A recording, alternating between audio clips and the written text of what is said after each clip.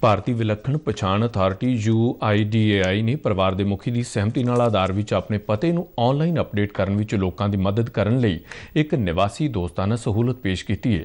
ਆਧਾਰ ਵਿੱਚ ਇਹ ਪਰਿਵਾਰ ਦੇ ਮੁਖੀ ਆਧਾਰਿਤ ਆਨਲਾਈਨ ਐਡਰੈਸ ਅਪਡੇਟ ਇੱਕ ਨਿਵਾਸੀ ਦੇ ਰਿਸ਼ਤੇਦਾਰ ਲਈ ਬਹੁਤ ਮਦਦਗਾਰ ਹੋਵੇਗਾ, ਜਿਸ ਕੋਲ ਆਪਣੇ ਆਧਾਰ ਵਿੱਚ ਪਤਾ ਅਪਡੇਟ ਕਰਨ ਲਈ ਆਪਣੇ ਨਾਂ ਦੇ ਸਹਾਇਕ ਦਸਤਾਵੇਜ਼ ਨਹੀਂ ਨੇ।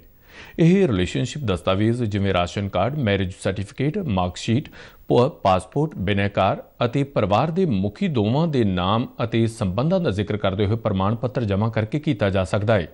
ਜੇਕਰ ਰਿਸ਼ਤੇ ਦੇ ਸਬੂਤ ਦਾ ਦਸਤਾਵੇਜ਼ ਉਪਲਬਧ ਨਹੀਂ, ਤਾਂ UIDAI ਇੱਕ ਨਿਰਧਾਰਤ ਫਾਰਮੈਟ ਵਿੱਚ ਪਰਿਵਾਰ ਦੇ ਮੁਖੀ ਵੱਲੋਂ ਸਵੈ ਘੋਸ਼ਣਾ ਪੱਤਰ ਜਮ੍ਹਾਂ ਕਰਵਾਉਣ ਦੀ ਸਹੂਲਤ ਵੀ ਦਿੰਦਾ ਹੈ। ਦੇਸ਼ ਵਿੱਚ ਵੱਖ-ਵੱਖ ਕਾਰਨਾਂ ਕਰਕੇ ਲੋਕਾਂ ਦੇ ਸ਼ਹਿਰਾਂ ਤੇ ਕਸਬਿਆਂ ਨੂੰ ਬਦਲਣ ਨਾਲ ਅਜਿਹੀ ਸਹੂਲਤ ਲੱਖਾਂ ਲੋਕਾਂ ਲਈ ਲਾਭਦਾਇਕ ਹੋਵੇਗੀ। 18ਵੇਂ 18 ਸਾਲ ਤੋਂ ਵੱਧ ਉਮਰ ਦਾ ਕੋਈ ਵੀ ਨਿਵਾਸੀ ਇਸ ਉਦੇਸ਼ ਲਈ ਪਰਿਵਾਰ ਦਾ ਮੁਖੀ ਹੋ ਸਕਦਾ ਹੈ ਤੇ ਇਸ ਪ੍ਰਕਿਰਿਆ ਰਾਹੀਂ ਆਪਣਾ ਪਤਾ ਆਪਣੇ ਰਿਸ਼ਤੇਦਾਰਾਂ ਨਾਲ ਸਾਂਝਾ ਕਰ ਸਕਦਾ ਹੈ।